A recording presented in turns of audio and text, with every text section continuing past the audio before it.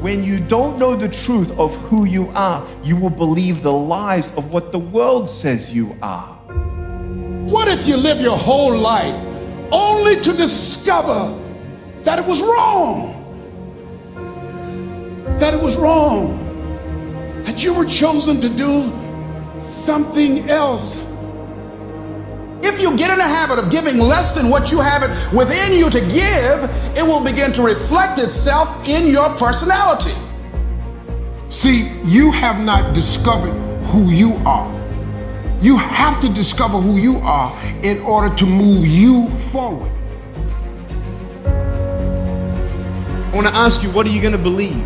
Are you going to believe in yourself? Are you going to believe everybody else's judgment on you? Are you going to believe people when they say that you're a failure?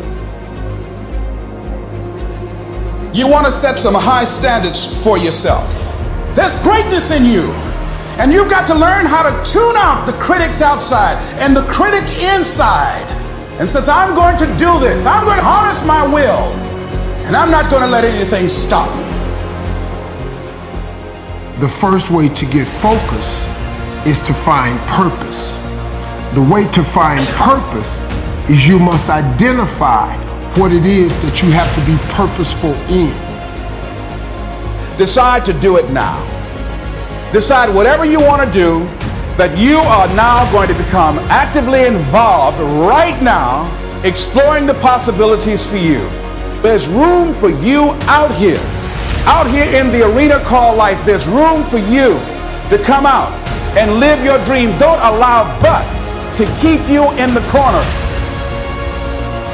If you get into the habit of just being mediocre, it will become a part of your consciousness. Most people go through life holding back.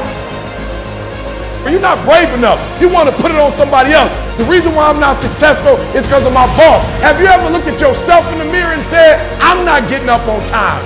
I'm not going to work on time. I'm not putting in 120% when I'm at work. I let me down. You know what I hear? I hear the clock ticking.